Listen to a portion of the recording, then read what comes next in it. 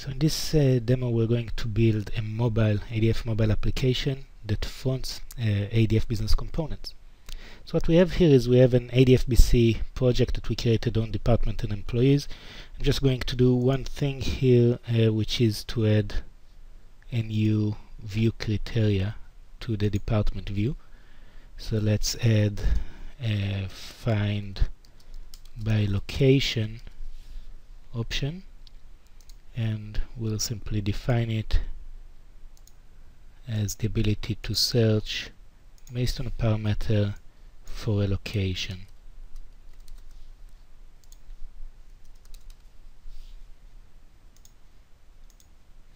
Okay, so now we have this view um, criteria for the departments.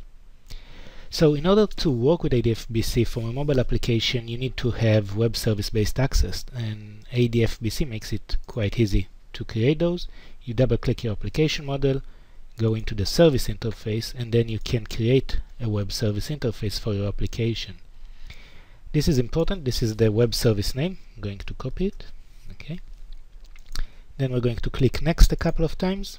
Over here we can choose which views we actually want to expose to web services. Maybe we don't need all the views, so in our case we're going to take the department view, and then you can choose which operations you actually want to enable on the view. So in my case I'm just going to use um, the find and the get by key operations on this view object. If you also need to do an update, you can choose update, create or other operations. The other thing that you can choose here is the view criteria that you want to expose. So I want to add the find by location view criteria over here. So this one will also be exposed in our service interface.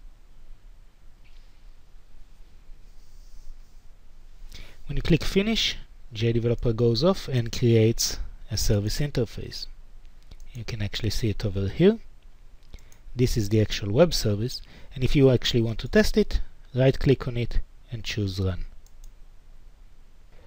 When the deployment is done, you'll get this URL over here. Okay, and this is for, oh sorry, this is the URL that we're actually interested in. This is for the model part of our project. So let's copy this one. Okay, let's open a browser and paste this in here. Um, when you just go over there, you won't get anything, right?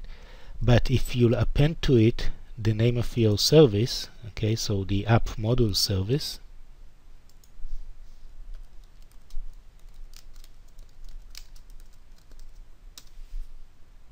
you'll get an interface that will actually allow you to test your service. So you can test for example the get departments view method where you can search for a department by the ID of that department. So let's look up department 30 click invoke get the results. So the important thing from here, this is the URL, is actually the service description. This is the WSDL file that describe your service. So you want to copy this one. Okay, make sure that you have the right IP address here. So actually, the IP address that I'm currently using is this one. Okay, so copy this one and now you can start developing your mobile application.